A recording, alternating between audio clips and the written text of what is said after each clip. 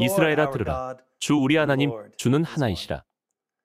예수하여 감사합니다. 새로운 한 주를 주셔서 또 다른 말씀을 듣게 되어 감사합니다. 그래서 저희가 자유로워지고 예수아를 더욱 배우게 해주셔서 감사합니다. 토라의 중심 되시는 예수아는 토라를 참된 생명나무로 만드셨습니다. 그 생명나무를 붙잡는 모든 자는 살아나고 형통하게 됩니다. 예수하여 저희가 주님 안에 거하고 주님이 저희 안에 거하시기를 구합니다. 예수아의 이름으로 기도합니다. 아멘. 아멘. 이번 주는 나소입니다. 나소는 인구 조사를 하다라는 뜻인데요. 그런데 여기서는 인구 조사를 많이 하지 않고 레위인의 인구 조사를 합니다. 지난주는 인구 조사에 대한 본문이었습니다. 우리는 숫자를 다루진 않았지만 그것에 관해 많이 말했습니다. 이름들의 의미를 조금이라도 기억해내고 하나님이 행하신 일에 용기를 얻고 주님이 이스라엘을 굉장한 집단으로 성장시키신 걸 보게 되길 바랍니다. 이번 주에도 여러 장에 걸쳐 수많은 것들이 나오는데요. 그중 눈에 띄는 몇 가지를 소개하겠습니다. 앞으로 살펴볼 내용들은 정말 중요한 내용이라 생각합니다. 이번 주 토라 포션은 민수기 4장 21절부터 24절로 시작됩니다. 민수기 4장 21절부터 24절을 보겠습니다. 여호와께서 또 모세에게 말씀하여 이르시되 게르손 자손도 그 조상의 가문과 종족에 따라 계수하되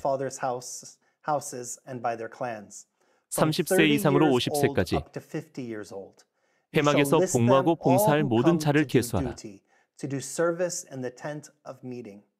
게르손 종족이 할 일과 맬 것은 이러하니 레위인과 제사장의 성전 봉사를 살펴보겠습니다. of the service of the Levites to the temple and the priesthood to the temple.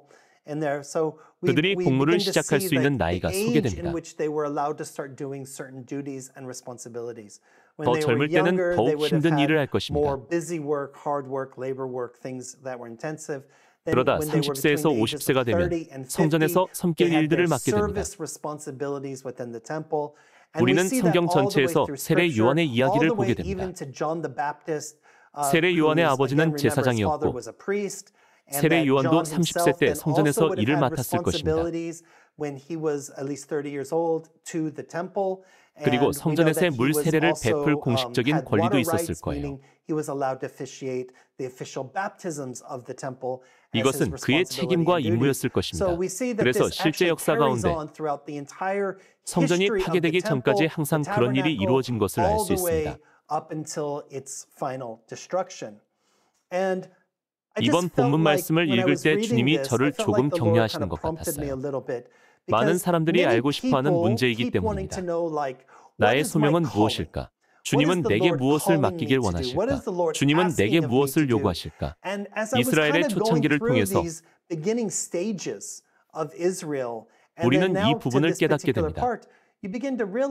하나님은 얼마나 많은 사람에게 구체적인 임무와 책임을 주실까요? 그리고 그런 그룹 안에서도 몇 명의 이름이 나오고 어떤 특별한 임무를 맡는지 보게 됩니다. 레위인들은 나머지 이스라엘 사람들과 구별되었고 그들이 해야 할 일을 하도록 주님께 what the 부름 Levites were 받았습니다. supposed to do. 하나님이 말씀하셨습니다. That, that God said, I 내가 레위 지파를 the tribe 구별했다. of Levite because 왜냐하면 이스라엘의 모든 장자는 내 것이기. 때문이다. And he 애굽에서 장자가 죽은 날부터 모든 장자는 주께 속합니다. in Egypt that all the firstborn would belong to the Lord. And 그래서 so 본래 모든 장자는 제사장으로 all the 구별되어야 firstborn 했습니다. were supposed to be set aside for the priesthood. But of course with the sin 그러나 광야에서 지었던 죄 때문에 하나님은 Lord 레위 지파를 구별하셨고 and separated the tribe of Levite. And so 나머지 이스라엘 백성은 헌물을 is 바치게 하셨는데요. 그래서 장자를 구속하는 헌물을 firstborn 성전 제사장에게 가져왔습니다. 이 상황에 대한 구체적인 내용이 나옵니다. 하나님은 모세가 아닌 아론을 대제사장이라. 부르셨습니다. 둘은 형제였지만 아론이 대제사장으로. 부름받았고 모세의 아들들이 아니라 아론의 아들들이 대제사장을 돕도록 부름받았습니다. 모세의 아들들도 레위인이므로 레위인의 책임을 맡았을 것입니다. 저는 이것을 생각해 보았습니다. 다른 이스라엘 백성들의 부름은 무엇이었을까요? 그들은 하나님의 약속된 선민이었고 사회 각 분야에서 하나님 나라를 나타내야 했습니다. 그래서 어떤 사람들은 목자나 농부가 되기도 하고 어떤 사람들은 상인이 되어 다양한 분야에서 일했습니다. 여러분도 알다시피 바울의 가문은 직조 일을 했는데요. 사도행전에서 바울은 직조가 가업이라고 했습니다. 그래서 우리는 여기서도 가문마다 다른 일을 했다는 걸 알 수 있습니다. 우리는 세상에서 이렇게 언약과 목적을 나타내야 합니다. 싸울 수 있는 젊은이들은 나라를 지키는 군인이 되어야 했습니다. 할아버지와 연장자가 있어야 되고 어머니와 딸도 있어야 되고 남편과 아내도 있어야 하고 이런 여러 구성원이 모두 필요했습니다. 그러니 부름에 연연할 필요가 없습니다. 예수아가 옳았기 때문에 많은 사람들이 주님을 따랐는데요. 70명일 때도 있었고 140명일 때도 있었고 다락방에는 120명이 있었고 수천, 수만 명이 예수아를 따랐습니다. 그러나 예수아는 오직 12명만 주님의 사도로 부르셨습니다.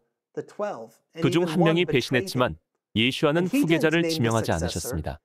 주님은 다른 사람들에게 12번째 후계자를 지명하도록 하셨습니다.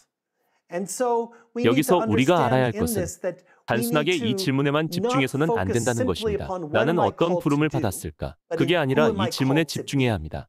나는 어떤 사람이 되도록 부름 받았을까? 이스라엘은 빛이 되도록 부름 받았고 여러분도 빛이 되도록 부름 받았습니다.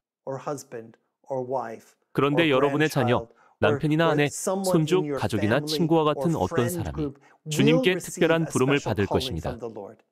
그들이 구별될 수 있습니다. 저도 그랬습니다. 저의 형제, 자매는 저처럼 부름 받지 않았습니다. 저의 부모님도 저처럼 부름 받지 않았습니다. 저의 큰 아버지가 목사님이셨지만 사촌들은 사역의 부름을 받지 않았습니다. 저의 증조부는 목사님이셨지만 제 할아버지는 사역의 부름을 받지 않았습니다. 그는 기계 기술자셨거든요. 그래서 제가 주님께 구별되어 부름을 받았던 것처럼 우리는 서로를 비교하지 말아야 합니다. 단지 순종하고 빛이 되어야 합니다.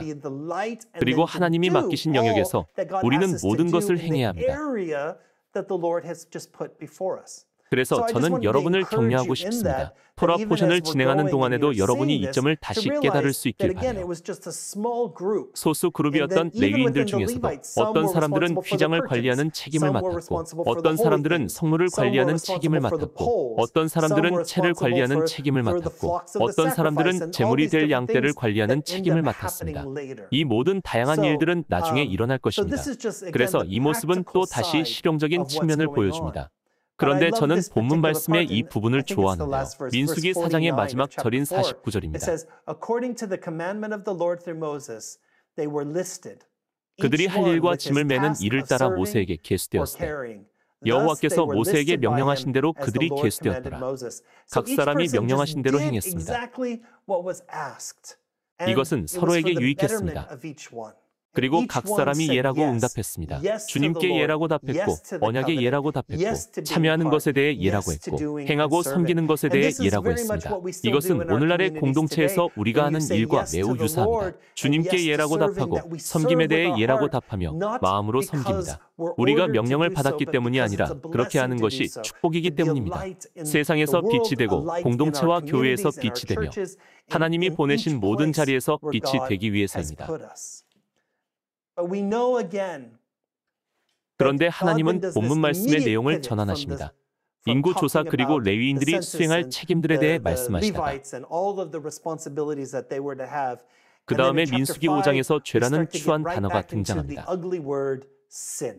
우리가 민수기를 통해서 볼 수 있는 것은 사람들이 하나님의 방식을 훌륭히 실천하거나 실패하는 모습입니다.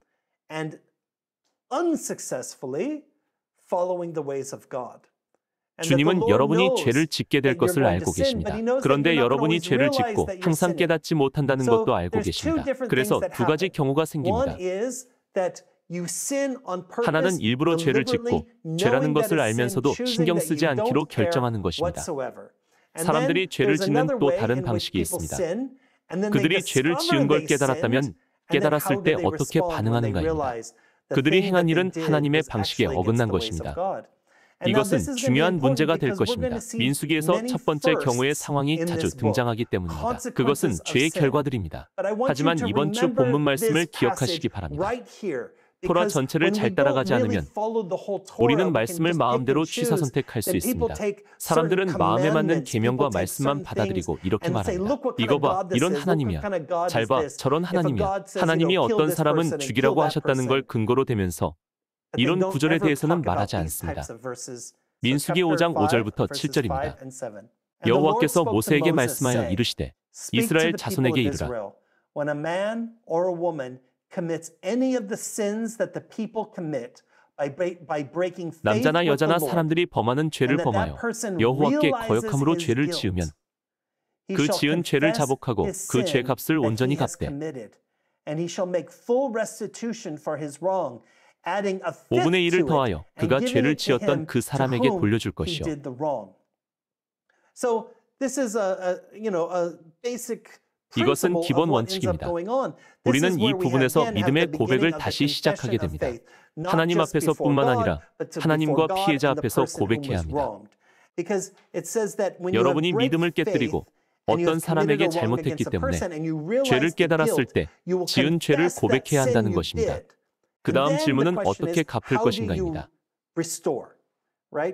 우리는 이것을 자주 놓칩니다. 왜냐하면 Because 이렇게 말하고 싶기 때문이에요. 저는 죄를 고백했고. 용서받았습니다. 이것으로. 충분합니다. 저는. 회개했고 죄를. 고백했습니다. 이것은 회개가 아닙니다. 회개는 고백하고 인정하고 갚아야 하는 것입니다. 어떻게 여러분의 죄를 처리하겠습니까? 여러분의 잘못을 어떻게 고치겠습니까? 훔쳤으면 다섯 배를 줘야. 합니다. 그러나 의도하지 않고 죄를 지은 경우에는 해를 끼친 것의 add 20%를 20% 더하여 갚으라고 하십니다. 봉사하는 것으로 갚을 수도 있을 것입니다. 다른 방법으로 갚을 수도 있을 것입니다. 어떤 것을 복구해야 할 수도 있고. 줘야 할 수도 있습니다. 실제로 어떤 상황인지 우리는 잘. 모릅니다. 어쩌면 이것은 가톨릭의 전통인 고해성사와 비슷할 것입니다.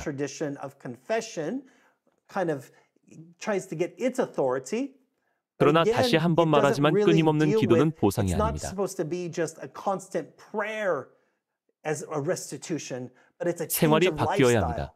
여러분은 어떻게 생활을 바꾸고 하나님의 길을? 행하시겠습니까? 민수기에 더 깊이 들어갈수록 우리는 죄의 결과들을 보게 됩니다. 이것을 기억하세요. 만약 자신의 죄를 직면한다면 죄를 지은 걸 깨달아야 합니다.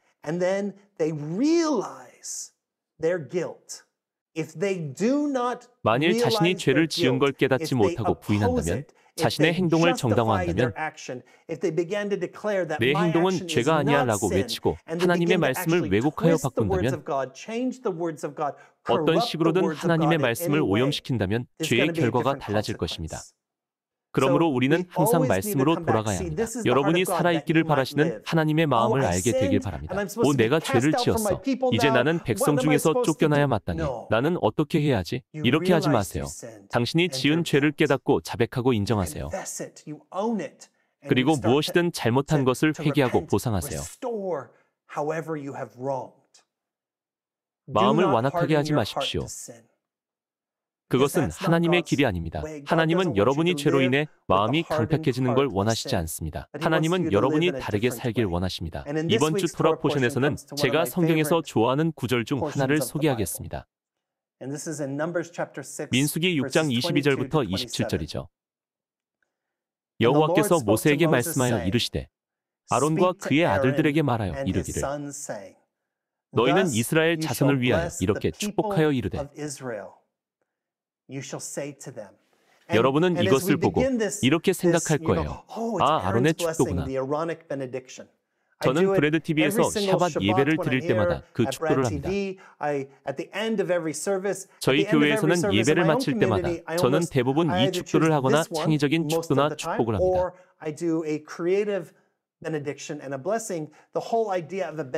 축복과 축도의 개념이 모두 여기서 나옵니다. 대부분의 교회가 축도를 합니다. 그리고 하나님은 우리와 이런 관계가 되길 바라십니다. 이것이 하나님의 마음입니다. 기억하십시오. 이 시점은 이스라엘이 약속의 땅을 향하는 광야 생활을 하기 전의 상황입니다. 따라서 이 모든 것을 기억해야. 합니다. 몇 주 후에 어려운 본문 말씀이 나오면 아론의 to 다시 some of those 상기시켜 difficult 드리겠습니다. passages. 그런데 여러분은 이 축복을 상상할 수 있나요? 축복은 기도가 아니고 is 중보도 not 아닙니다. a prayer. A blessing is not a is is not intercession. It's 축복은 기도 a 요청이 아닙니다. request. It is 축복은 a 예언적으로 말하는 것이고 성령으로 a- 말하는 것입니다. saying of the Spirit that 그리고 축복은 하나님의 마음과 뜻, 방향을 담고 and 있습니다. direction of God. And 그래서 이 단어들은 모두 가치와 의미가 있습니다. value and meaning. It is 축복은 단순히 말씀을 외우는 게 아닙니다. 이 경우에 축복이 전달하는 의미를 놓칠 수 있습니다. 너무 자주 듣다 보니 익숙해졌기 때문입니다. 예수님이 어떻게 기도해야 하는지 우리에게 가르치셨을 때와 비슷합니다. 예수님은 제자들과 산 위에 계셨습니다. 예수와는 우리에게 어떻게 기도해야 하는지 말씀하셨죠. 그러므로 너희는 이렇게 기도하라. 하늘에 계신 우리 아버지요. 제가 보니 어떤 곳에서는 누가 먼저 외우는지 내기하는 것 같았습니다. 하늘에 계신 우리 아버지요. 이름이 거룩히 여김을 받으시오며 나라가 임하시오며 아멘. 마음에서 우러나와서 기도했습니까? 마음에 감동이 되었습니까? 너무 잘 기억하다 보니 소홀해지기 쉽습니다. 이것이 암송의 위험한 점입니다. 암송이 너무 익숙해져서 의미를 잃게 되고 의미를 잃다 보니 말씀에 담긴 거룩함, 능력, 권위를 잃게 됩니다. 이 얘기를 전에 한 적이 있는지 모르겠습니다만 반복하는 것은 항상 좋습니다. 토라는 반복이 중요합니다. 그래서 우리는 매년 반복해서 읽습니다. 우리가 잘 읽기 때문이기도 하고 더욱 깊이 살펴보고 싶기 때문입니다. 그러나 회당에서는 토라를 암송하는 게 아니라 그냥 음졸입니다. 그래서 토라를 암송하거나 외우지 않았습니다. 그러나 토라를 읽어야 합니다. 정말로 말씀을 읽어야 합니다. 회당에서 매주 토라를 읽을 때는 후마시를 가진 두 전문가가 함께합니다.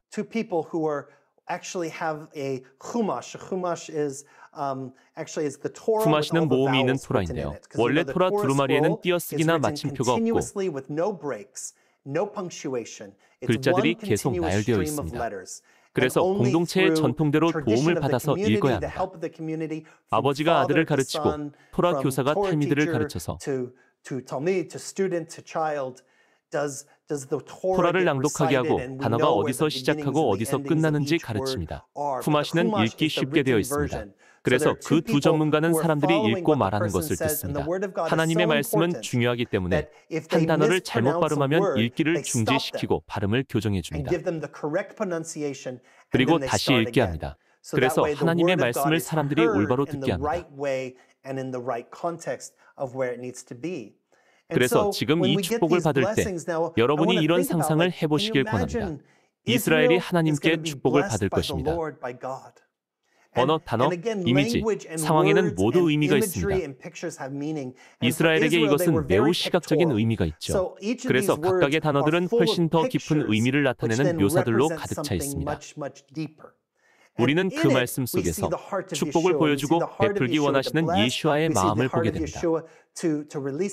기억하십시오. 예수와는 천국에 계신 우리의 대제사장이며 멜기세덱의 반차를 따르십니다. 주님은 유대인과 이방인 모두에게 동일하십니다. 오늘날에도 주님은 여전히 우리를 축복하고 싶어 하십니다.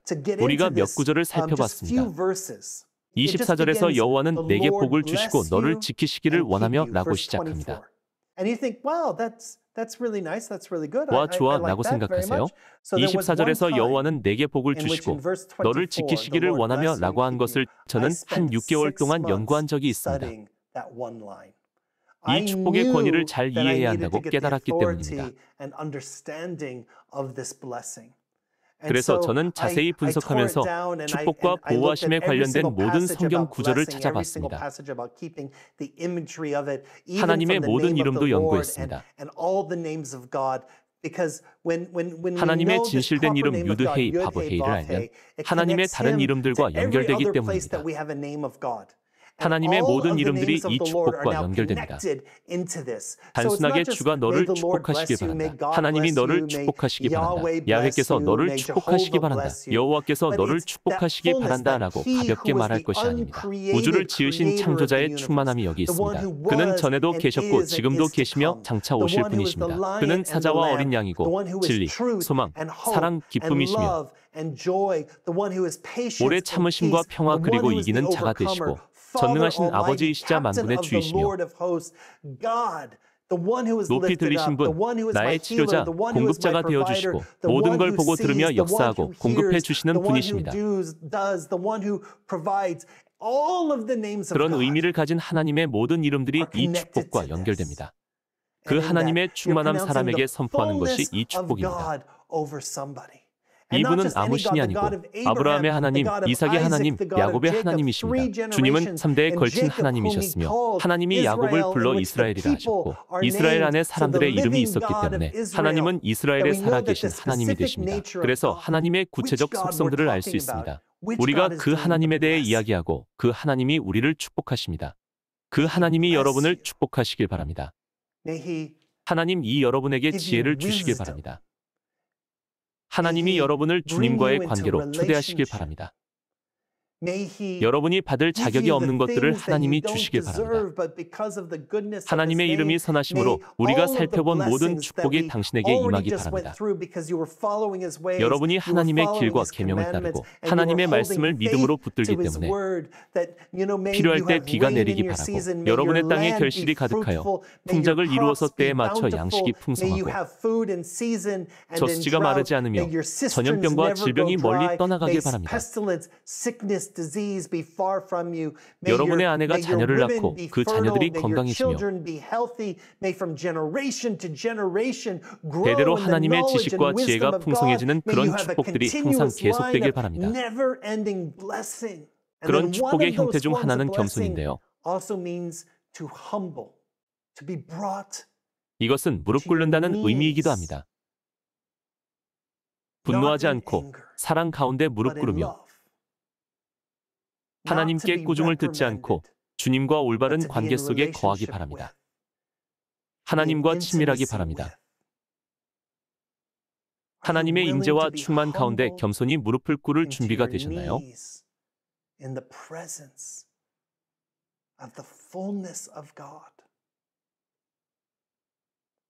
너를 지키시기를 원하며 하나님이 여러분의 강한 탑이 되시고 여러분의 앞을 지키는 방패 되시며 밤에는 불, 낮에는 구름으로 여러분의 뒤를 지키시고 여러분을 치려 하는 모든 무기가 무너지고 망가져 결코 형통하지 못할 것입니다. 원수의 모든 계획이 무산되고 하나님의 지혜와 관계가 여러분을 지키고 보존하며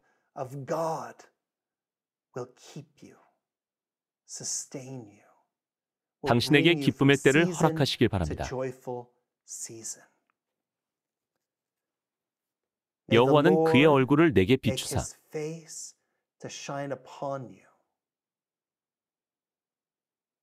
상상해 보세요. 모세의 얼굴에서 빛이 났습니다. 백성이 그것을 보자 모세가 얼굴을 수건으로 가려 했습니다. 모세의 얼굴에 하나님의 영광이 투영되었기 때문입니다. 본문 말씀도 그런 이미지를 묘사한 것입니다. 하나님의 얼굴 빛을 당신에게 비추시기 바랍니다.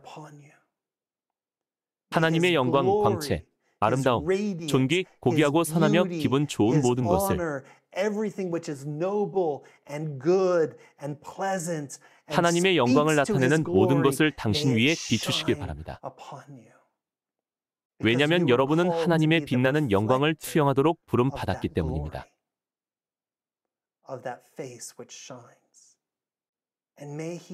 은혜 베푸시기를 원하며 하나님이 여러분에게 친절을 베푸시기를 바랍니다. 하나님은 여러분에게 선하십니다. 여러분이 자비를 받을 자격이 없을 때 하나님이 여러분에게 자비를 베푸시기를 바랍니다. 하나님이 당신에게 모든 것을 주시기를 바랍니다. 주님이 값을 치르셨기 때문입니다. 하나님이 여러분을 좋아하신다는 걸 깨닫길 바랍니다. 하나님은 여러분을 있는 모습 그대로 사랑하고 좋아하십니다. 예수와께서 이 정도로 여러분을 사랑하십니다. 여호와는 그 얼굴을 내게로 향하여 드사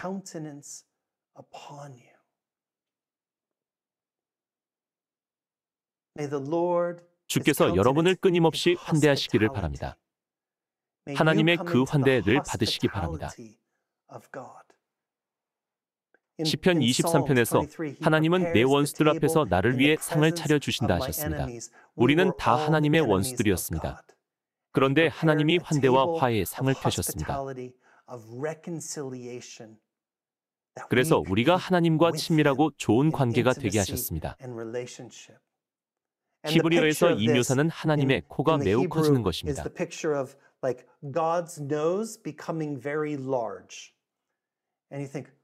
그게 무슨 의미냐고요? 누가 여러분의 얼굴에 점점 더 가까이 다가오면 어떻게 되죠? 코가 점점 더 커져 보입니다. 하나님의 얼굴이 그렇게 다가옵니다. 여러분은 피할 수 없습니다. 그래서 여러분이 하나님의 얼굴을 보고 하나님은 여러분의 얼굴을 보시며 미소 지으십니다.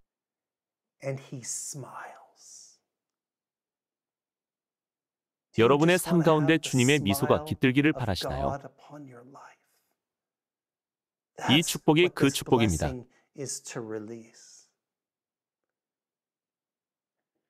평강 주시기를 원하노라.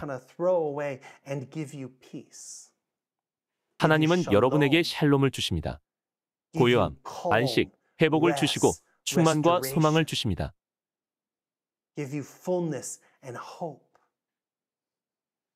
이 평화는 모든 이해를 초월하는 평화입니다.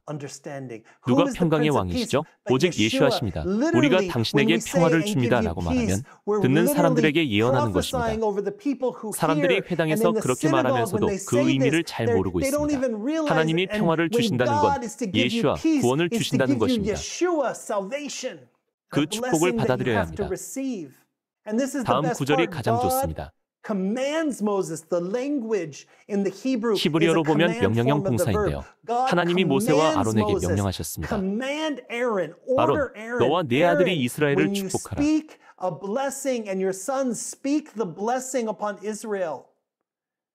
그 말씀의 동사가 모두 명령형입니다. 하나님이 아론에게 말씀하십니다. 백성을 축복하라고 내게 명령하라. 내게 지시하라.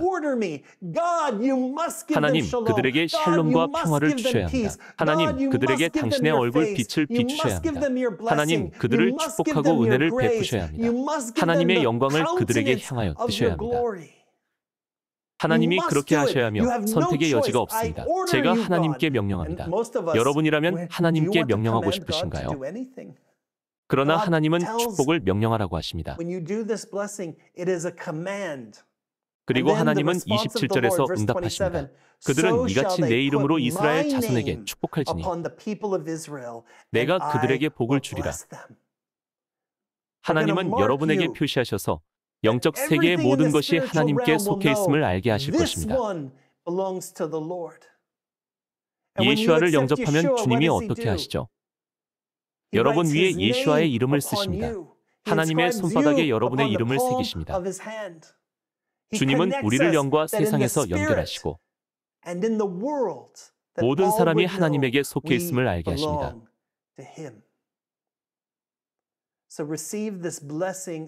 여러분이 이 축복을 다시 새롭게 받아들이길 바랍니다.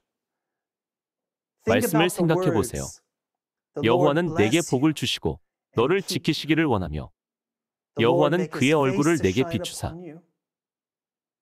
은혜 베푸시기를 원하며 여호와는 그 얼굴을 내게로 향하여 뜨사 평강 주시기를 원하노라.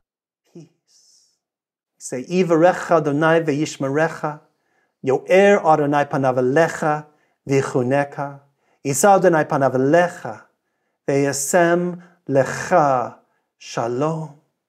이 구절로 찬양을 부르기도 하고 읊조리기도 합니다.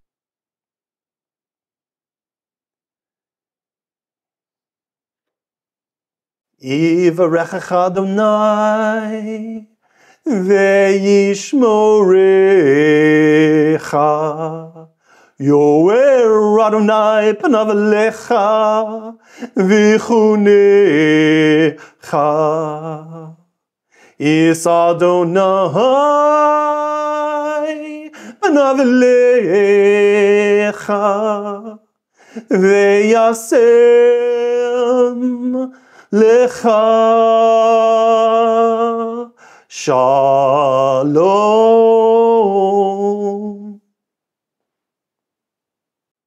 I bless you in the name of 평화의 왕이신 예수와의 이름으로 여러분을 축복합니다.